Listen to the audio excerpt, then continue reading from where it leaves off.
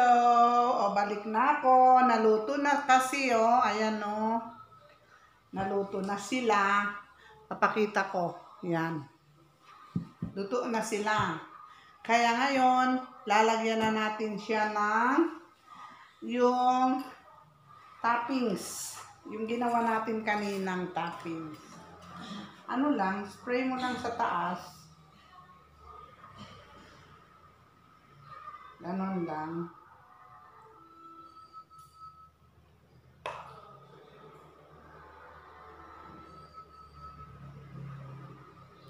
Ganon lang. Kung ayaw mong matam masyadong matamis, di wag mong masyadong lagyan.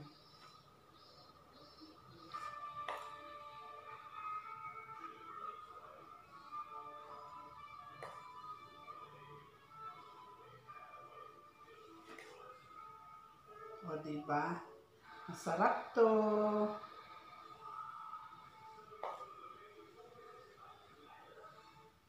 Ubusin na natin kasi sayang yung tinimpla.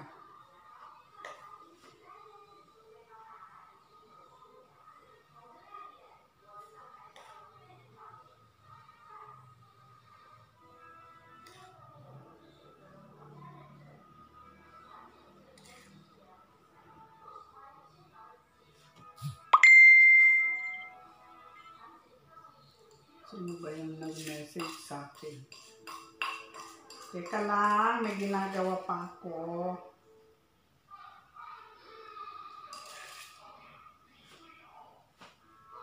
Ayun. Ayan o, tapos na lagyan ng toppings. Ganyan. Kita nyo ba? Ay. Ayun o.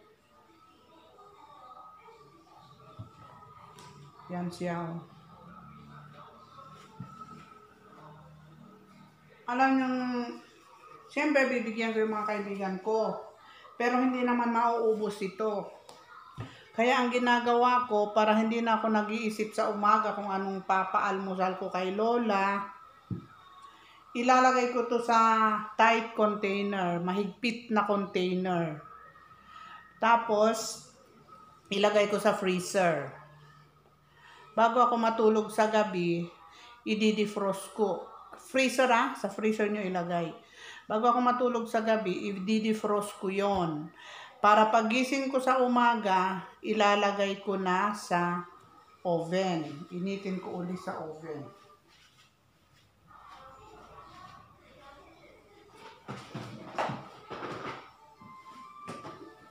Ito oh, dito ko ilalagay. Kasi nakakapagod din yung mag-iisip ka kung anong almusal, di ba? Yan oh. Ang ganda talaga, as in. Kung madali lang naman sundin, di ba? Very detailed naman yung pagturo ko sa inyo.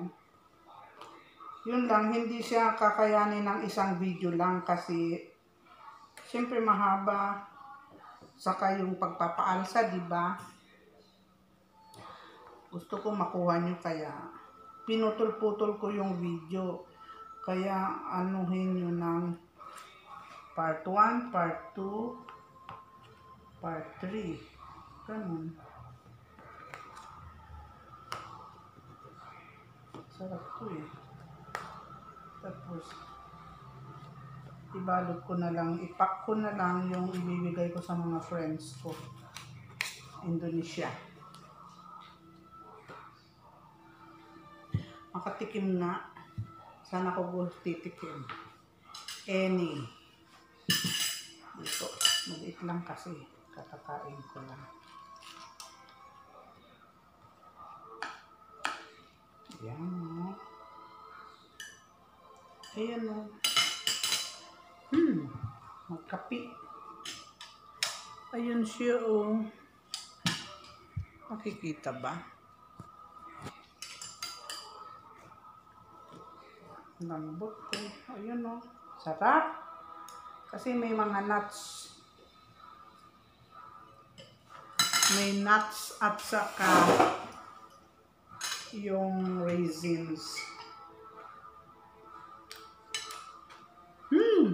Ang sarap. Hali kayo. Kain tayo. Dami oh. Mhm. Masarap talaga.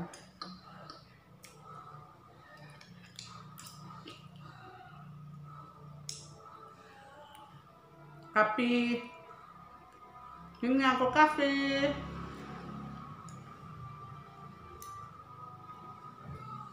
Ganyan ang paggawa.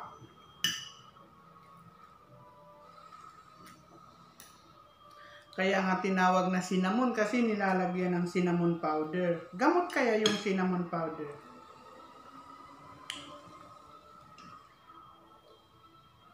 Sarap, sarap. Ah, kayo na lang ang mag ano, mag-adjust ng sugar. Kung gusto niyo maraming sugar, mas dagdagan nyo kapag naglalagay kayo ng fillings, dagdagan nyo. Dito kasi ayaw nila masyadong matamis dito. Ayaw nila. Ayaw ng mga Chinese ang matatamis. Hmm. Sarap. Ano kayo? Kain tayo.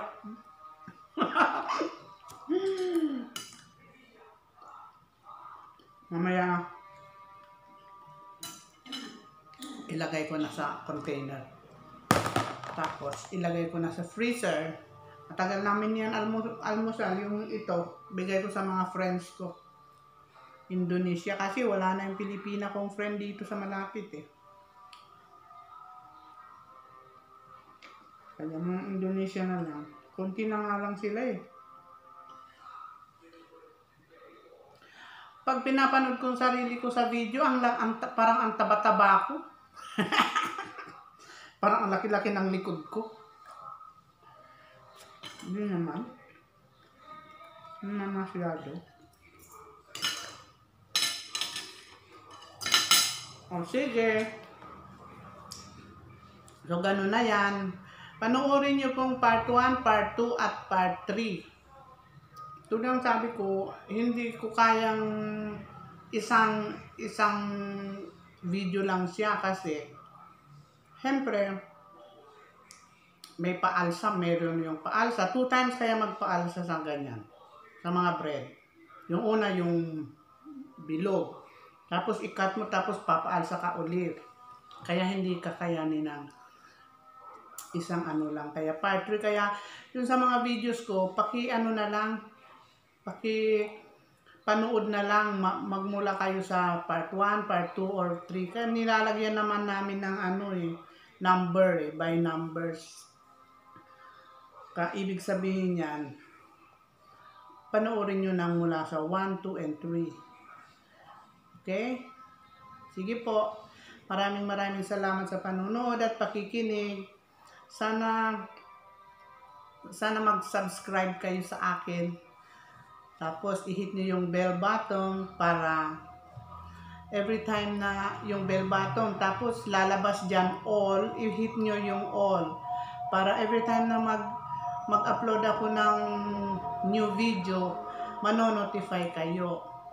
Ganun lang po. Passion ko kasi itong pagbibake at pagluluto kaya sinishare ko sa YouTube. Malay mo, pagdating ng araw, matanda na ako, hindi na ako makakilos, papanoorin ko, di ba? Yung, kahit na yung mga pagluluto-luto ng ulam, sinishare ko rin. At saka yung life ko dito as OCW. Ganyan lang po. Sige po, salamat uli ha. Salamat sa pakikinig, panonood. Thank you. Hanggang sa muli. Bye.